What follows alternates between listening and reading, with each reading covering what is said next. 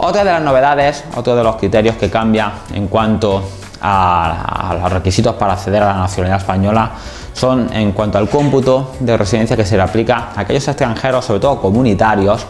El caso típico es el italiano eh, que tiene en España una residencia como italiano, pues viene este, este, y, además este ciudadano italiano tiene una doble nacionalidad, tiene doble nacionalidad de un país iberoamericano. Como sabéis, a un italiano se le exigen 10 años de residencia legal y a un ciudadano argentino, pues solamente dos. Entonces hay muchos casos de ciudadanos italo-argentinos que viven en España como italianos con un certificado de registro ciudadano de la Unión Europea y eh, en este momento o hasta, hasta ahora a esos ciudadanos italianos se les exigían 10 años de residencia legal como italianos, ¿vale? Porque tenían en España su residencia como italianos. Pues bien, ahora si ese ciudadano italiano acredita que tiene también una nacionalidad de un país iberoamericano, como puede ser común, ¿vale?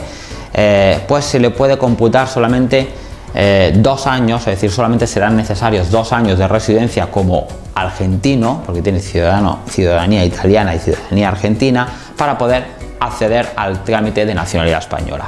Antes se le exigían 10 años como italiano, ahora, aunque su residencia la tiene España como italiano, al tener esa doble nacionalidad con un país iberoamericano, se le respeta el plazo reducido que se les aplica a todos los nacionales de países iberoamericanos. Por lo tanto, podría un ciudadano italiano residente legal italo-argentino, por ejemplo, acceder 8 años antes a su proceso de nacionalidad de lo que hasta ahora se permitía.